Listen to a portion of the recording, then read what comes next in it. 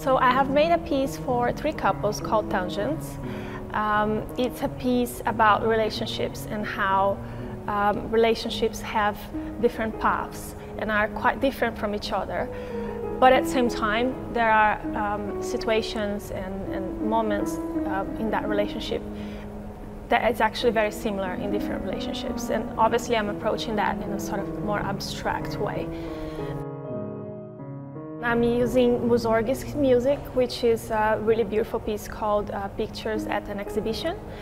He composed that when he went to see an exhibition and he got inspired by the different paintings that were in that ex exhibition. So therefore the music's a little bit challenging because every movement is very different from the other. So the challenge was to actually use those movements in a way that would um, work well um, with the choreography. Um, but yeah, it was really nice. It was a great process, and the dancers really, really helped as well. So it was very gratifying.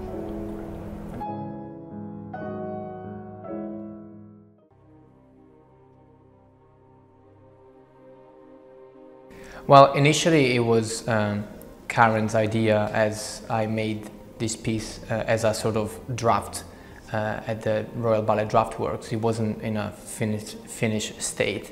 She decided to take it into the company's repertoire. Well, the music, it's the first violin concerto of Philip Glass, which is uh, my favorite contemporary classical composer. Uh, uh I've been listening to this concerto for many years now and uh, I've always, it's always been close to my heart.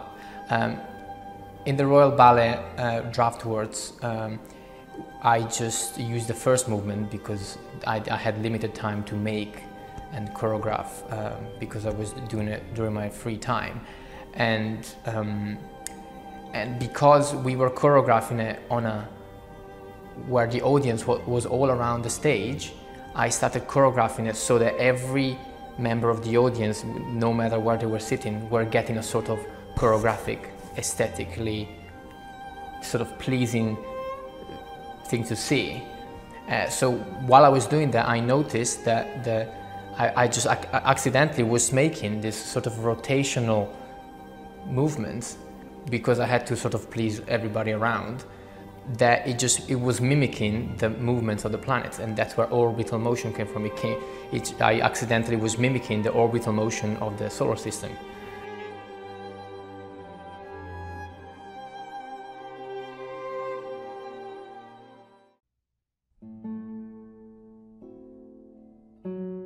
My ballet is not abstract. Um, it's not obviously storytelling, but it has a, a, definite point of departure where I took the story from, the characters from.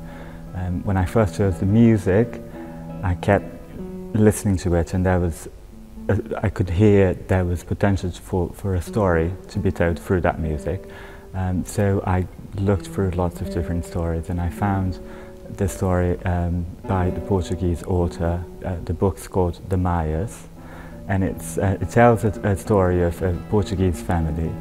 And brother and sister get split up when they're very young, and they don't know they, you know, the other one exists. Um, and they meet up when they're adults. They fall in love. They can't um, avoid a, a, certain connection that they have and they're drawn to each other and they keep going back to each other and eventually they find out um, they're brother and sisters and, and it, get, it, gets very, you know, very ugly and but I think obviously the, the book's very long and my piece is only six minutes long so I concentrated on the, the personality of those two characters and, and the journey that they go through and I try to get all of that across in that very short space of time.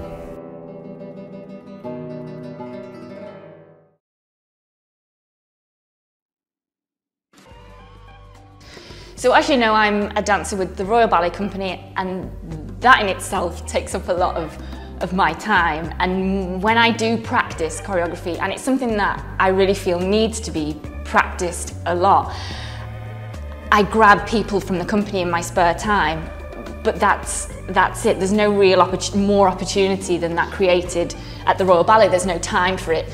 So it's really important to try and get my hands on top quality dancers to use and try and develop my movement and develop my ideas outside of the Royal Opera House with the extra time. You know, I can find time in, in breaks, in kind of my holidays and things. So New English Ballet Theatre creates that opportunity for me. They have, you know, an amazing group of dancers all really open and willing to try new stuff. And I don't know, I feel it, it's a really nice environment for me to work in and I, um, I feel quite relaxed here and there's no clock ticking like there is usually, you know, I'm always in a rush to make something. It's nice to have the time to spend with the dancers, to change things, to look at things I don't like, to maybe throw away stuff that I've spent a whole day creating, but because I know I've got time and they've given me time, it's nice um, to develop it. So I'm having a great time.